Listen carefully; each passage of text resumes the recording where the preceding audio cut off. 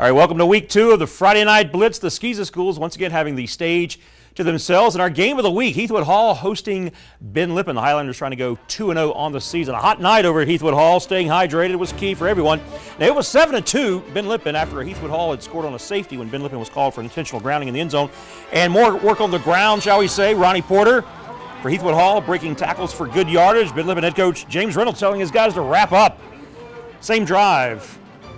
Alex Lewis, the quarterback, will keep, and he will turn the corner, and he will get into the end zone. A 10-yard touchdown run. And it is 9 to 7 in favor of the Highlanders, who take the lead. Now, Falcons driving in the second quarter, but they cough it up in the red zone. Heathwood Hall recovers, so it remains 9 to 7.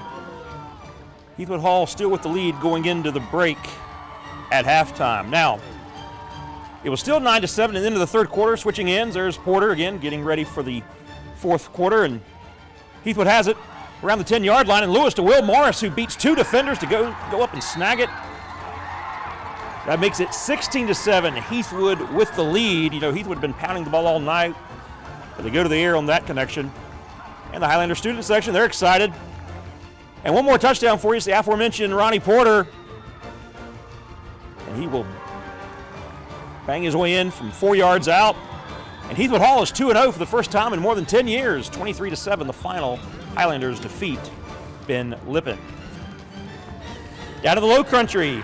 Hammond on the road taking on Porter-Gaud. In the second quarter, the Skyhawks come alive. They were down seven, but CJ Stokes gets the call, turns the corner, turns on the Jets, and that is a 68 yard scamper to the end zone. And just like that, game is tied at seven. Next high Skyhawk drive. Stokes gets the carry again. This time cuts back inside, weaves his way through the Porter-Gaud defense, in for a second score of the day. 13 to 7, Hammond.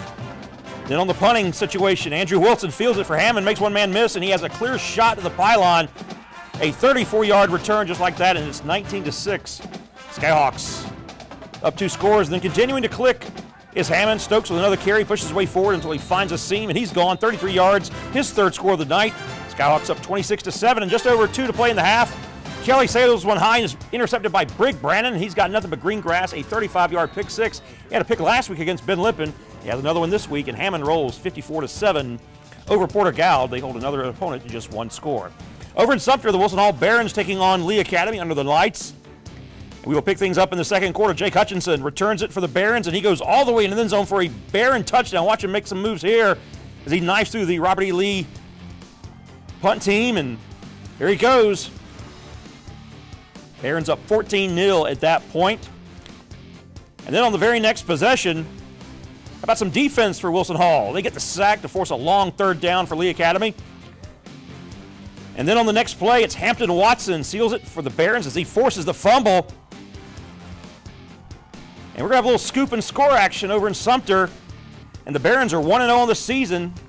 They defeat Lee Academy by a final of 40 to 6. And over at Thomas Sumter Academy, new head coach Brandon Tidwell and the Generals taking on Carolina Academy. Thomas Sumter trying to go 2 0 in the Tidwell era. Second quarter, Ethan Lisenby's pass is picked off by Matthew Joy. And Joy ends up taking this one to the distance, but it was called back it's still a pretty incredible, uh, pretty incredible play. But two plays later, Austin Brown makes it up as he dashes his way up the middle for a Bobcat touchdown. The visitors from Lake City looking very strong, and they roll to a 42 6 victory over Thomas Sumter Academy, spoiling Tidwell's home debut for Thomas Sumter. Hey, down in Augusta, packed house at Augusta Christian. They were hosting Cardinal Newman. And first quarter, Augusta Christian quarterback Jeff Bradford over the middle, caught by Terrence Vendiver shakes a tackle and he's a foot race to the end zone and he's gone 36 to 6 augusta christian at that point and the home team defeats cardinal newman by a final of 50 to 6 all right that's it for now for the first half of the friday night blitz but stay with us talking gamecock football when we return. Stay with us